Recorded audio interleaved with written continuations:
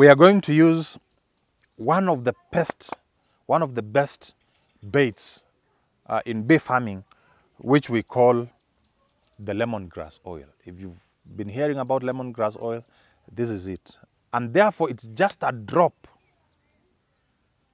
just a drop.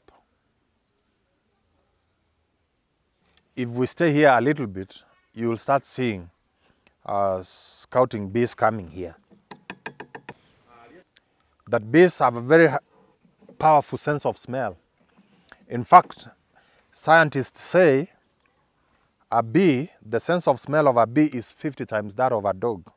So after we've done this, we can decide to put our queen excluder, cover the brood box only, which we are going to use in this case as our catcher box.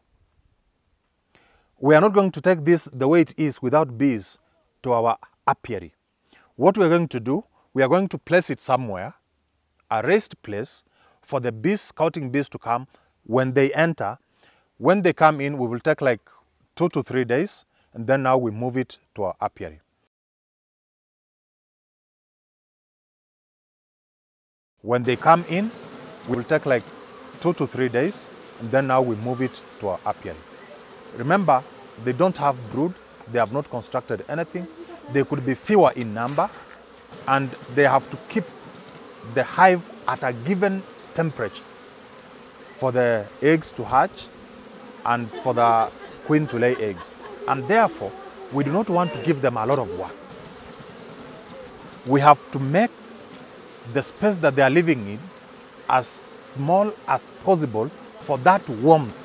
Because we want them to work very fast, the hive should, be, should give them enough warmth such that more worker bees should get out, get in pollen, get in nectar, and work as effectively as, as it should be. If that is not the case, especially in, in, uh, in cold seasons, most of the worker bees are going to remain in the hive to keep the hive warm or to keep it to the temperature that is required.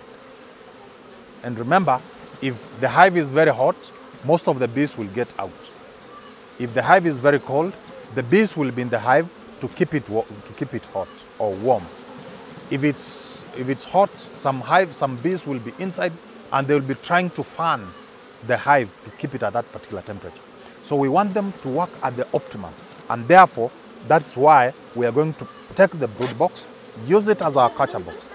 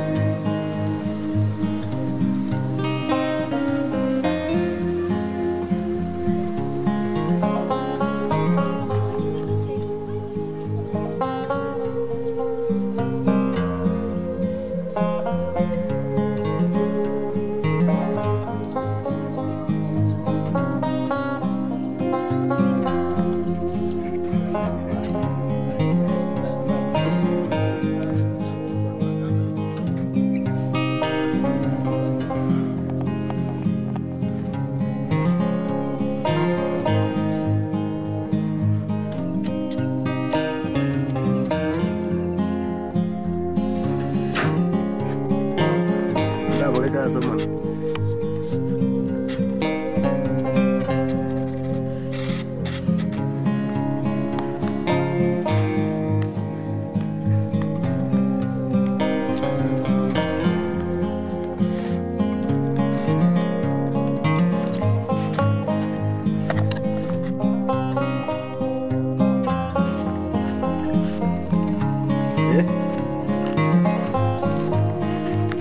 Oh, lanjut. Jual.